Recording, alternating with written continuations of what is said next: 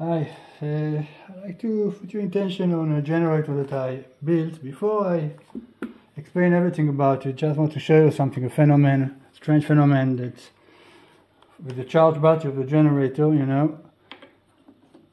I will explain to you that later on. You see, very funny. Look, 220 volts on the opposite way.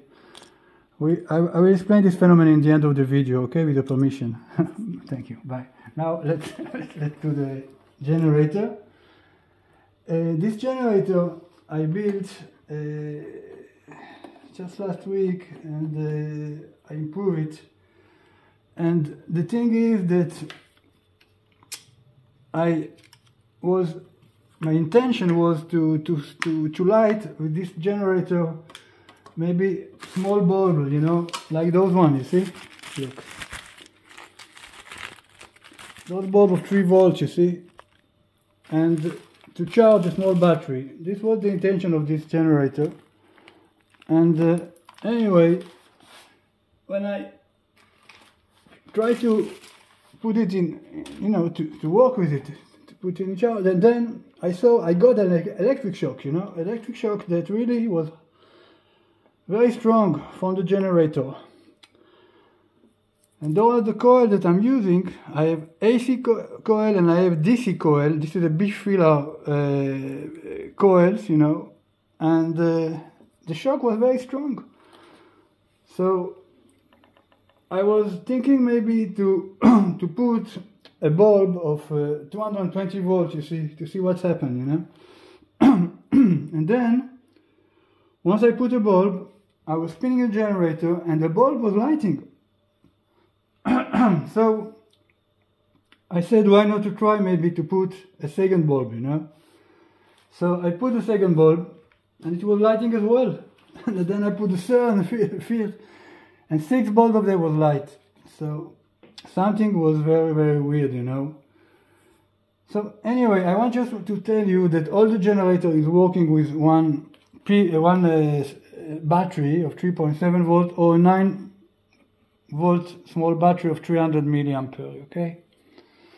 So you can use this battery here or you can use the 9 volt battery. Now, please try to understand that the lighting from the, from the generator is not coming from the battery, it's coming from the coils and the magnets, okay? I will spin it by hand for a second so you can see that there's no battery on the generator and just you can see how it's generating, look, you see? I do it another time, look. So the lighting is coming from really from pure generating from the coil and the magnet. You see, there's nothing that you can see the generator after. There's nothing to hide here. You know, it's very simple, and my attention is that you understand how it works and to share with you and not to hiding anything. Okay. So uh, here we have a charge battery that we are going to put here the same one like this one here too okay but I want to show you something before that. Look, I installed all the coils in the low part, on the down part of the generator. We have magnet downstairs and we have magnet upstairs. So for now, I'm using only the half of the potential of the generator because I put coil only downstairs. Then I will put coil from upstairs, glue it here from up to down, you understand? So I can fill all the upstairs part with coil and to get the double of uh, efficiency from the generator. So now we have only half of the efficiency of the generator because I put for now only downstairs uh, all the coils. What I put two above, you can see one how it will look in the future. I put here one above here, you see, okay so we can put around 20 coil above as well to get more light and more charge. Why I tell you that? Because I want to put here two three more housing to charge back more battery from one battery okay? So for now I'm charging one battery I will show you. Uh, let me just show you as well the charging of the generator so you see the charge is here look here. Oop, you saw it's a very strong charging that are in the capacitor so now we are going to charge it from the beginning. Let me put the the charge battery. Okay and we are going to measure how much we have now we can put it here let me see the generator can work for hours because the consumption of the generator is 300 milliampere. I will show it to you and uh, you can see it's 300 milliampere, not more. So it's working for, uh, you can put it for three, four hours and still it will work enough time to charge back the charge battery and you can use the charge battery in, back to the input battery and to put the input battery in the charge battery instead. But anyway, I will put two, three of them. So it's 300% of efficiency in the generator. 3.6, this, this coming from the capacitor, look, because look how strong it comes from the capacitor, still half full, you understand? Unbelievable. You see? Now we are going to charge the battery and we are going to put the battery like look here when I put it here I run the okay that's all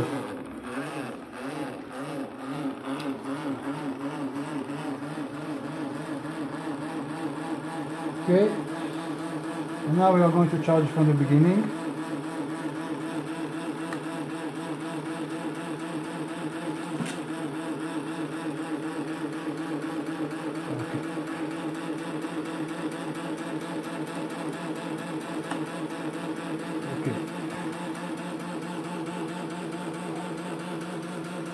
The charge.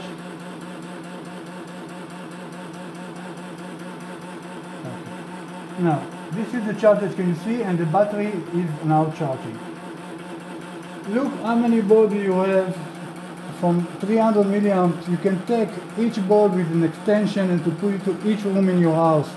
Those bulbs are 220 volts bulbs, 6 watts each. I have 5, 4, 6 watts that I choose and they're all working with only a part of coil downstairs, not even upstairs.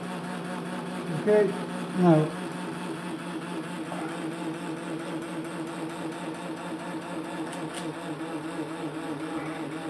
now it's starting to charge better. So this is this can work for a very very long time. You can see and charge you in the future three, four of them. From 300 milliampere. It's unbelievable. Okay. Now, let me explain to you something else. If I stop, you see, if I take the battery out, okay.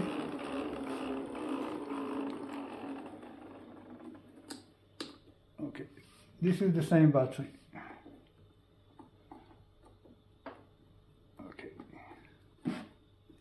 Now, I put it one time again just to show you that we are working 100% on the coils and the magnets.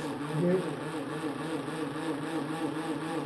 I don't understand how it's possible to, to, to run it on, on 300 milliampere, but still beautiful. Okay, now I will show you something else.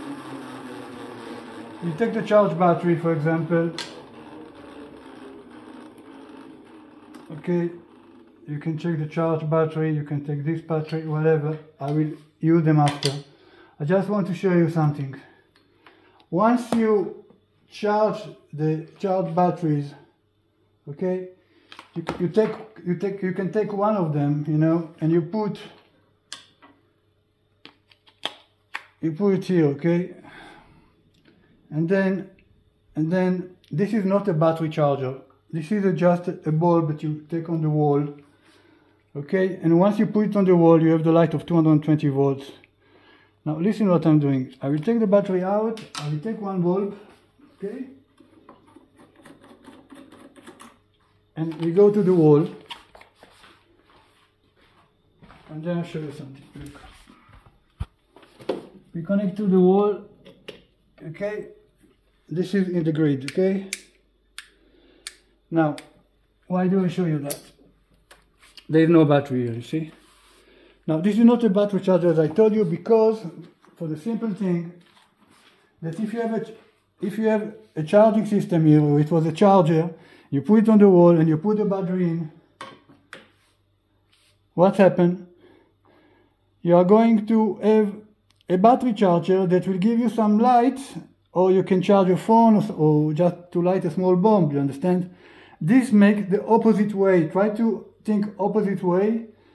When you put the battery you are not charging the battery from the wall. No the opposite way you are making back the electricity to your home. It means that when you have a power cut you know if you have a power cut and you're living somewhere and you don't want to stay without power let me show what you do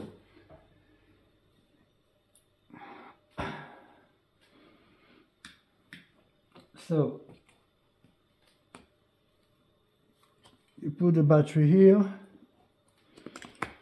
Okay and let me let me push. And you have the, your, your 220 volt light back you understand? So this is not a battery charger it's the opposite way. It gives you the power back in your home and you don't stay without electricity you understand anymore okay now, as well, you can charge your phone with this. I will put you the charger. This can work after you charge the battery, because I don't want to make the video long. You can charge the battery with the machine, and then you can leave it like that if you have a power cut for 10 to 12 hours. It means you can put it in 8 in the evening, for example, until 8 in the morning. And then you can put it back to the machine, it will charge. You understand? Unbelievable. Now, as well, in case you have a power cut, you can as well use the phone. It will recognize the phone and it will charge your phone as well. You see? Okay. 12 hour of light for one hour in the generator, you understand?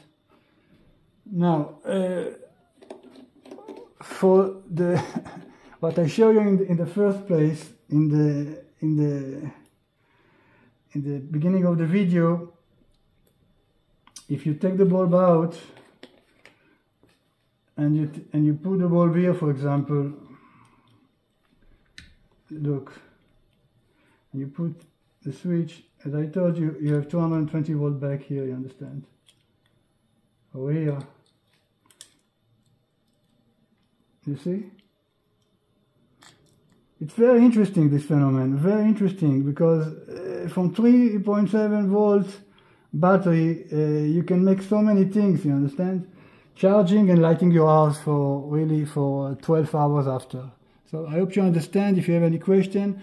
We are looking for somebody maybe you like to uh, uh, to invest in this project because I can improve it and I can have a double of the bulb and double of the charging and from really uh, small tiny battery this one or this one that are 300 milliampere. I, I try to put it as well on on the wall with the, with a transformer.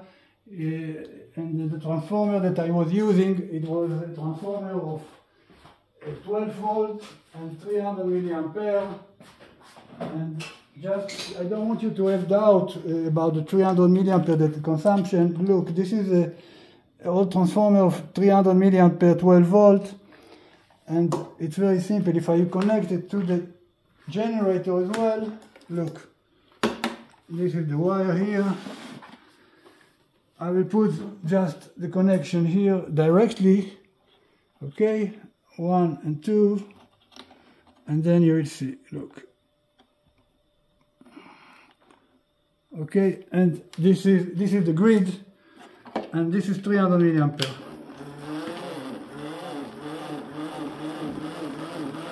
Okay.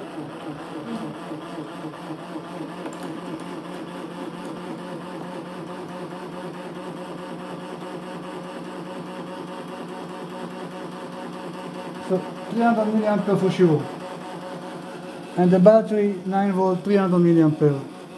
And from this battery I use 300 milliampere. So thank you very much and uh, look at the charge. And bye, thank you, bye.